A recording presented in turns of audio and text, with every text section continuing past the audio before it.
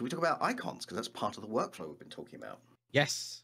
So when, whenever we've designed the icon, we've realized that uh, we, we can't just take a snapshot of the of the swords. You saw even even when they're blown up really big on the screen, some of the large broadswords end up getting cut off, which is no good. So we, we need a way of uh, being able to artistically design icons so they match the sword type.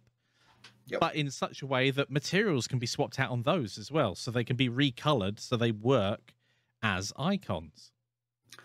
And that led to me playing with the image class, which I haven't really played with before. And the documentation tells you, you know, how to use it, but the, haven't found any good tutorials. So what I've found is I can take two different icons. So in this case, let's say the blade and the hilt. I can say, make the image the first of those, make it the blade. Now blend it with the second and move the second to this position. Yep. But before you do those, recolor both images. So apply color here, apply color there. And that kind of works. Um, and there's a couple of different ways you can do that. You can do, you know, for every pixel, so do x, uh, 4x, 4y, um, or 4x in width, 4y in height. Uh, go through every pixel, and if it's not alpha, recolor it. Or we could do multiply it by, which might work better, but can also look Yeah. a little blurrier. Um, but it, it, we now have a situation where if we're procedurally generating these weapons and we want players to want to pick up lots of weapons that they'll never use but might want to sell, the player needs to be able to see in an instant which is the one I'm keeping, what's the valuable one, what's Yeah. good for this situation. Yes, we, we realized very quickly that if you picked up five broadswords and you had to mouse over each one and wait until a tooltip comes up, that's not a great player experience. You should ideally be able to look at the weapon and know what at least what type of weapon it is. We're not going to have levels of weapon, so there's not going to be like you know a level five broadsword, a level fourteen, and a level thirty broadsword. Sorry, you can't use that one yet because of reasons. Um, even though you could use every well, we do one. have you can't use this class of, of weapon because you're a Yes. different class. But we don't we don't have any distinction in level of weapons in our games. So um, you should be able to look at our weapons and know, oh, that one's a a gold a gold a gold and steel one is a great example. Well, here's another example of why this is important. Like, you need to see it very quickly. If you're playing a mage, you have access to all these different ones that have different spells. Not every Mhm. spell is going to be good in every situation.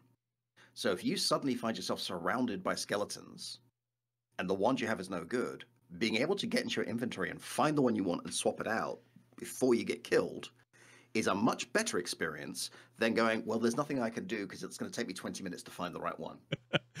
Hold on a moment. Nope. Nope. uh, so, so it that that begs the question whether whether we also need to have a look at the UI and pot- potentially have more hot items, so that uh, a character can press one, two, three, four, five, all the way to. I mean, suddenly it suddenly it. it, it I mean that that was a decision we made the in the other direction earlier. Yeah. But do we need to revisit it? The more you have to revisit these, the harder it gets.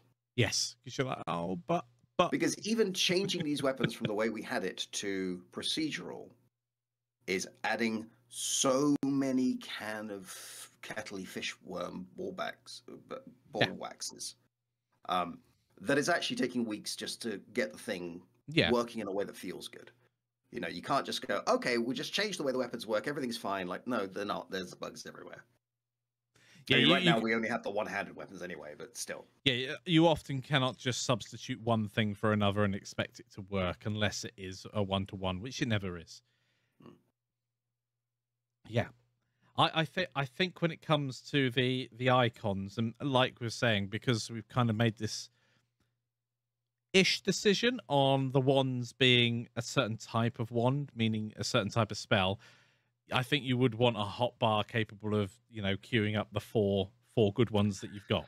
So I'm thinking potentially the blade or the top of the weapon, so the axe head, the sword blade, or the top of the wand, is the key, right? That's the thing that people are going to notice is visibly different. Yeah. So if each of those have two materials, then we can sort it out from there. Yeah. Right. Um, and there's a couple of ways we could do that. We could just do a simple, but slightly, but pretty inefficient go through the entire image, change all the pixels by color. I mean, that essentially can be generated at the beginning of a playthrough. But it's still slower, Yeah. right?